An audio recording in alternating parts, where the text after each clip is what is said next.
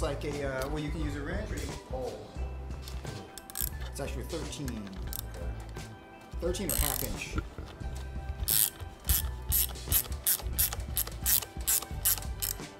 All right. So one of the tricks is once that starts to pull off there, you may be able to just smack that with a hammer Okay. with a dead blow, and sometimes it'll come off. So when you ha- when you grab the hammer, a lot of people don't know how to use a hammer. So when you grab the hammer, you grab it by the handle and not from up high.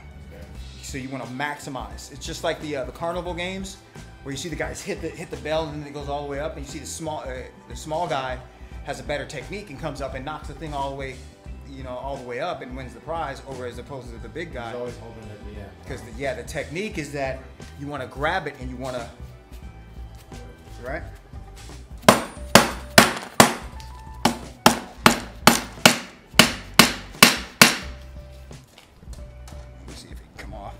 We may have to use the puller, but that's how you Yeah. that's how you would use it. So it's this is a small enough puller. So you want to get inside.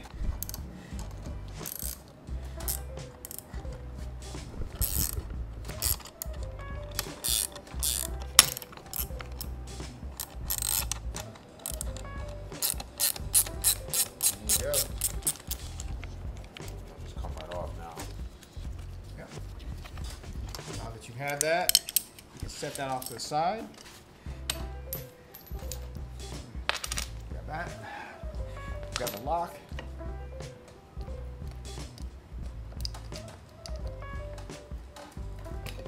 And there you go. So there is no need for you to remove the caliper or anything. All that stays stays in place because the uh, the it's it's so well engineered, uh, the, the ultras and the thunders and just the Dualtron products in general, that they actually give you access on the side that you take the take the control arm off. So it's actually it's just a really really really good design that works really well in terms of being user friendly to, to remove the stuff. Because I can I can literally do this on the street. If I got a flat on the street and I had the the inner tube and the tire with me, I can I can literally replace it on the street as long as I had off the curb. It's, it's literally that that, all that this, simple. all this shit right here. See this? Yeah, no. So I, re- I repair the threads every every Okay. time. So I repair it and then I'll show you show you that and get all the gook out of it. And uh, Is the next step to remove the split rim on this thing? How does this? come- What do we do next? uh, yeah, the next step is you go in there. That was really loose. Super loose.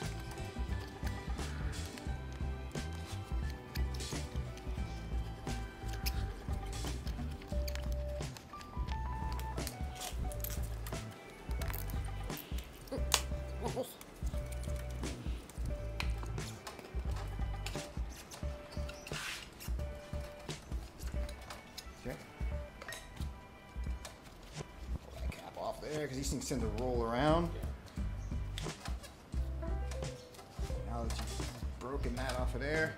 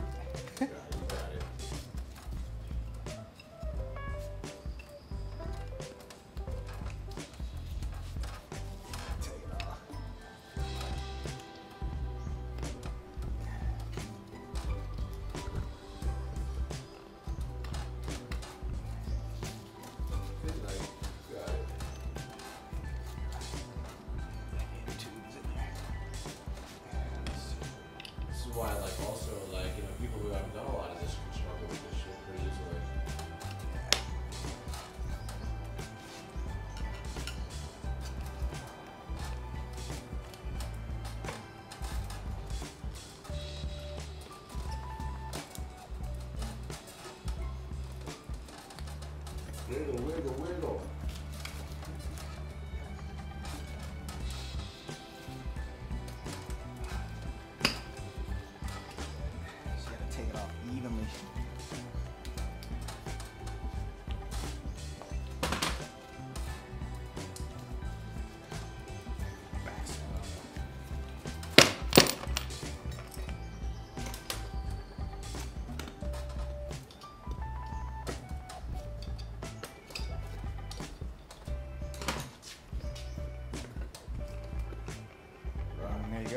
Okay, so the difference between the the V1s and the V2s is that on the V1s the rim is affixed to the body, to the to the motor body. Oh, I see. Yeah, of course. Right? Yeah. So on the on the V Unlike that right there, right? See right there. Yeah, so what happens is, is that that's a great example. Even though that's a Thunder, these Thunder uh, motors come on the V2 Ultras. Right. So this is what I have on my V2. Yeah, so on the V2, that's what you have. So, the, so the, and the difference between the, the, the two is a is basically see how the see how the rim is one piece. Yeah. You get an inner and an outer. This is this is a one piece wheel. It's not split, right? This is on the on the V2s. This is removable. It comes off, and even though the rim is split, you can still remove I both it. pieces. I get it. I get it. Yeah. So, so they're using Thunder motors on the Ultra V2. Alright. Okay. Let's keep going. Is uh, first of all clean it up, make sure everything's good. I've got steel wool here. I'll go through it. Clean all that. The bead. You want to make sure that everything seats correctly. What's the bead? You mentioned that a few times before. The bead. bead. Yeah. The, okay. So the bead on the tire. This is the bead here, right? This Okay. this this piece here. Okay. So you want to make sure that that that that seats and that there's no no debris or there's no you know filings or anything that can that can possibly puncture or go into the inner tube, right? A lot Or of guys get fucking punctures because they got something wrong in there. I know that. yeah. So basically, what I do, just rule of thumb, and this is what I do with everything. I take steel wool, zero zero zero one. Doesn't have to be an, an aggressive steel wool. And I just I, I go around it. Doesn't have to be polished to perfection. It's just to, to take off the burrs if there are any. From the uh, from the removal. All right, deburr it. And I use uh, alcohol. Oh, that's where all the rubbing alcohol And man. uh, find this shit in stores anymore.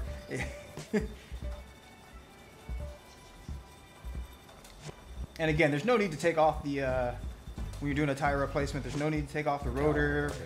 the caliper, any of that Caliper, yeah. I don't know why I was taking the caliper off. I'm just used to doing it. I've done the brake test so many times. Yeah, there's no. Yeah, it's not. It's not necessary. Just want to make sure that that's good and good and clean. Yeah. Then you're gonna wipe that with a uh, with a towel. Still a lot of fucking oil. A lot of dirt. Yeah, well, I mean, it builds up in there. You got a lot of heat, a lot, of expansion. Uh, inside that uh, that tire, even brand new, isn't isn't really clean. There's mold releases, all kind of stuff in there.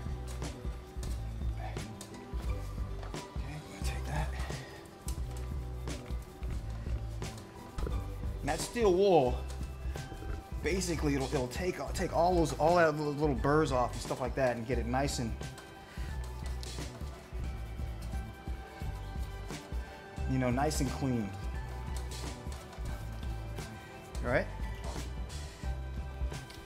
The mating surfaces where the rims come together. You always want to make sure that this is that this is nice and clean. And the reason why is because if there's a high spot on there, even though you're gonna you're gonna torque you have a torque value on there, if there's something in there that's creating a higher gap, you'll get an oscillation or a wobble in the tire. So it's just it's imperative that you clean that surface here and here, just to make sure that uh, that everything is smooth and, and everything is good.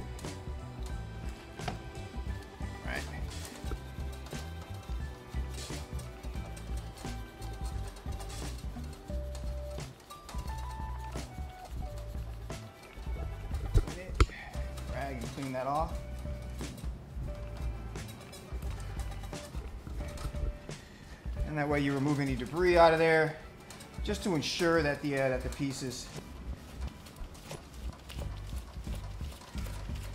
Very are good. Okay, so now we see that that's good. It's, it's, it's good and clean. There's no, doesn't appear to be any more burrs on there or anything like that. Get on that. Now we can pretty much say that the uh, that the those mating surfaces are good. And here we're gonna take our dental pick. We're gonna make sure that we're gonna get all that little debris out of there. because it too is a mating surface, and those mating surfaces have to be true.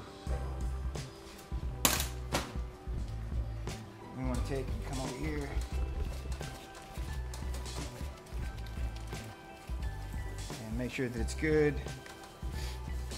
Okay, so so this tool here is called it's called a die. Okay? The other version of this is called a tap. But the dies are for male threads and the and the the, uh, the tap is for female threads.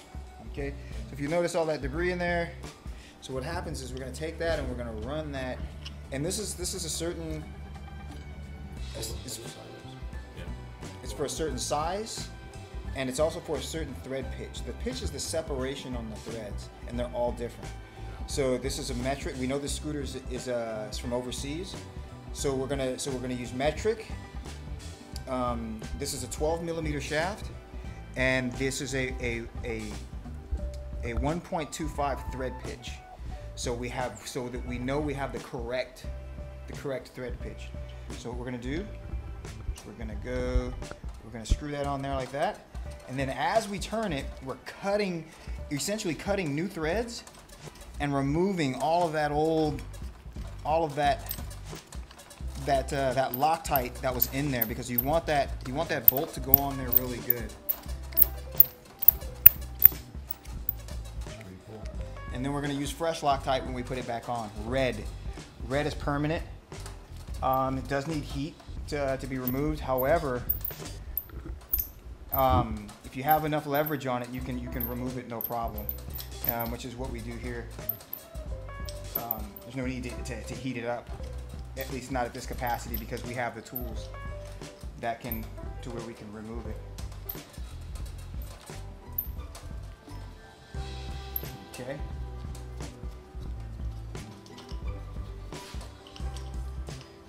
Run it in a couple times.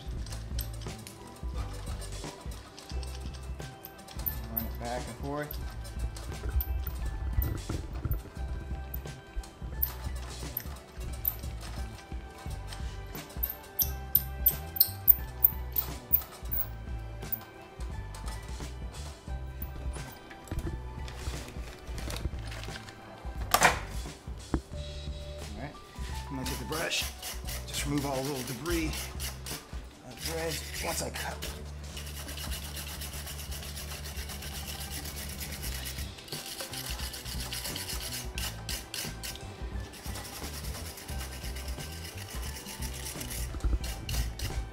Okay, so now that it's all nice and neat, nice and neat. Okay, so we're not gonna we're not gonna lube that. We're not gonna put any lubrication on that. And the reason why is because we're gonna use Loctite and threads have to be clean and dry. If we're using lubrication on that, then that kind of defeats that that uh, that method on how on how we uh, on how we go about it. Never put it toward the brakes. Never, ever use lubrication near or around the brakes. Ever.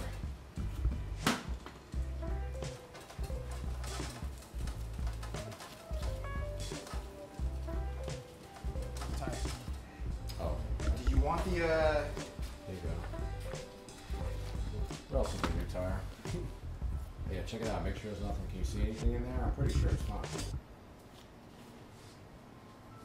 It's a scam like okay, so so the easiest way to determine if you can't see from the outside, it can be a little difficult. Sometimes you run over stuff and you can't see the tire. So look at the inside of the tire. Make sure you have a well lit place, and then look on the inside of the tire and see if there's any protrusions, any nails, any staples, any glass coming from the outside in. And in order to do that, sometimes I just I, I, look really good and I just I run my fingers in there and just make sure that you mark uh, like a starting point. You you grab grab a point, mark with your hand, and then just just go through. No special equipment needed. I'm pretty confident it's a tire. I'm pretty sure. Nope. You see how hole in it? Yep. Oh my god. Got a staple in it. Do you have a spare tire here? Because I'm gonna. Oh, did I bring more than No, no, no, no, no. I could just pull that out and then use the same tire because remember you got an inner tube. Let me see. 16 exactly why I say do it. Right here. Run your finger right there. Be careful. Is that? Oh, that's why this. Oh, maybe the tube is bit. No, there was nothing wrong with this tire. Obviously, the I- tube I know, didn't puncture the tube. I'm getting confused. Yeah. Okay. So so Oh, if that's this when the other tire got. Oh, that's why. I got- Yeah. okay. so this is You're good that you got save this. You're gonna be able to save this? Yeah. So what happens is is that this this tire is still good. So even though you know you're, like, oh man, it's the tire's still good because remember it's a split rim. So so that came through and that's exactly it. Just proved. So imagine if I'd have put the tire in that, inflated it, It would've punctured it would have punctured it. How are you gonna pull that out? Okay, so uh, so we uh, will either use needle nose or we'll use something that we can get in there with to, to, to pull it out. Mean, you go ahead and do it.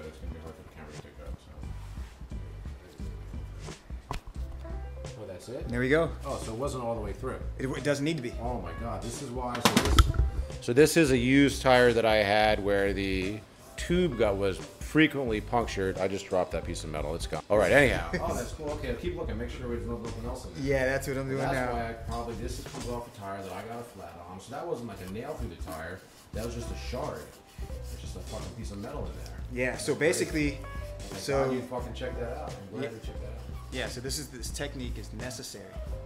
Okay, so if somebody tells me, oh, they got a flat and they got an inner tube in there, I'm either looking to see if it's an, a tire inflation issue, because a lot of times if the tire, because because these wheels are so torquey, if you if you if you run that that motor and you're on three and you gun it and the tire's low, and remember the the this is at an affixed position, right? So what happens is that that uh, that valve comes through there and it'll spin the tire on the rim and break it off at the at the. Uh, What's the next thing? So we're gonna reuse my old tube. There's nothing wrong with the tube. yeah, there's nothing wrong with the tubes. Tubes tubes can be reused, no problem. You have slime in this thing or not? I don't think so. If you're, if you're having trouble getting it, then maybe it is. No. I don't think so though. I don't remember putting slime in it.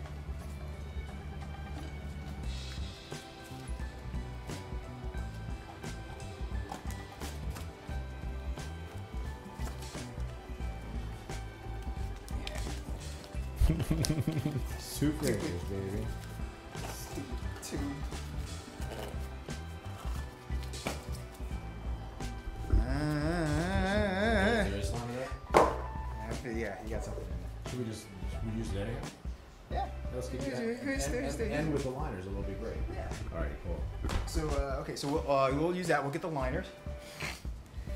So you want you want coverage Okay, cool. like that. So that's what you're gonna get. There's a barrier between the the inside of the tire.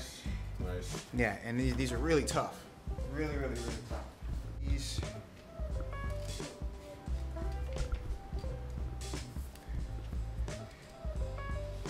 Thirty-one inches. Good. So at Rekall, we go through first-class memory implants. You really, you really know that movie. Huh? All, all movies to really know. You just wedge that shit in there. Yeah. Okay. So so basically, you want to take the uh, the ribbed portion, okay, of this particular brand. Some of them are smooth, some of them are not. But the rib portion goes toward the uh, goes goes down. Okay. Okay. And when you when you put it, you want to put it in the direction of the uh, of the tire. So if you're if you're spinning the tire forward, you want to put you want to put the bottom in first. And first you want to get the right the correct width. You have to have the correct width.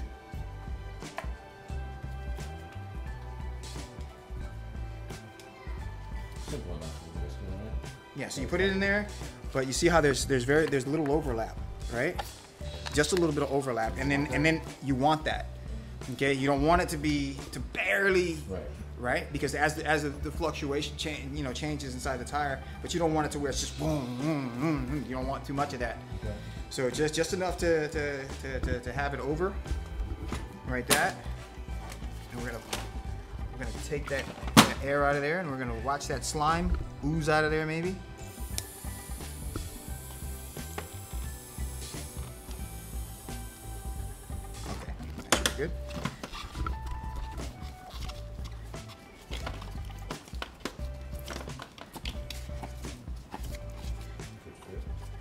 Good fit. Now what we're gonna do is we're gonna inflate that to make sure that it's not pinched. And then we're gonna use wax to make sure that it doesn't pinch once we put it on the rim.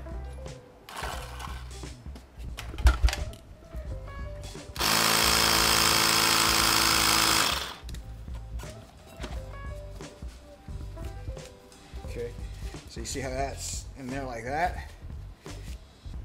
Okay, we're gonna take that. Just a little bit, but we do want it to, to be inflated a little bit, right? Take that, put that on, like that. Actually, actually skip a step, lube that up, because we don't want the pinch.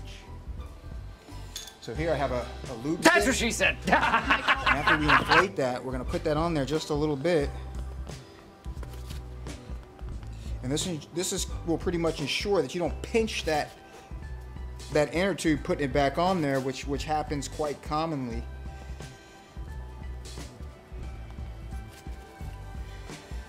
And if you if you pinch it, it'll be short-lived. I know exactly what you're talking Yeah. And you know, so it's just it's just basically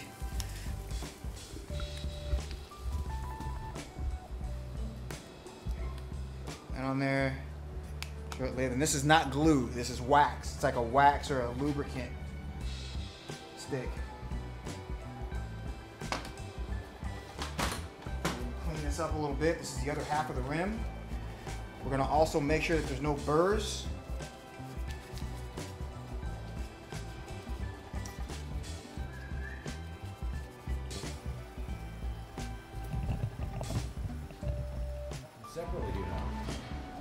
Walk two pit bulls at the same time. That's crazy. Really? Why, why not, dude? Both my dogs are aggressive. I, I want to have one hand free if there's a problem.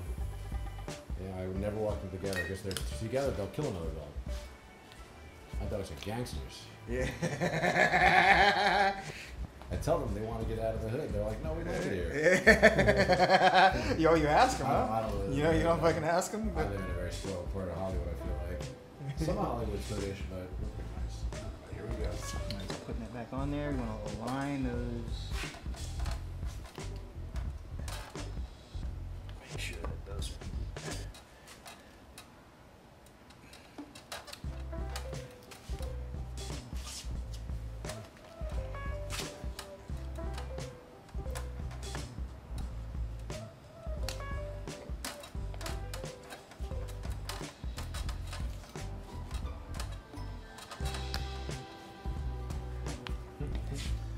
I do this, I lie it on the side. I put my knee into the rim and I push it down and I grab one of the screws. Yeah, you just put it in there and you, and you run it in there.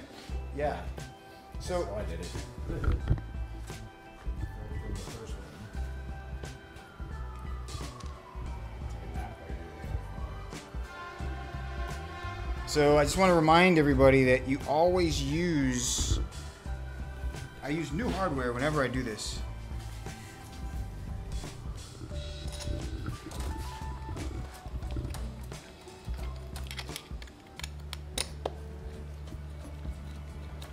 Right?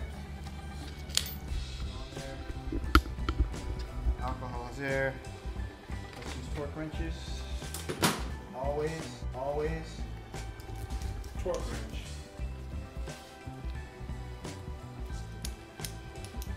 What's the setting? I go I go uh, 86.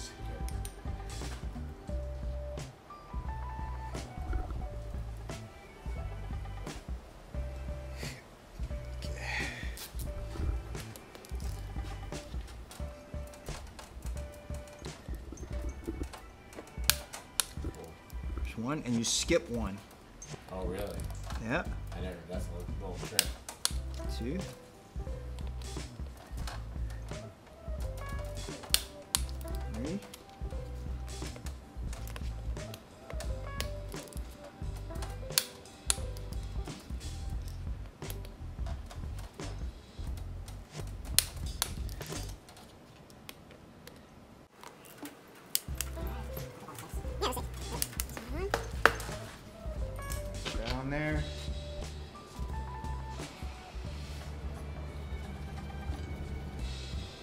Flat as that if I pinched it.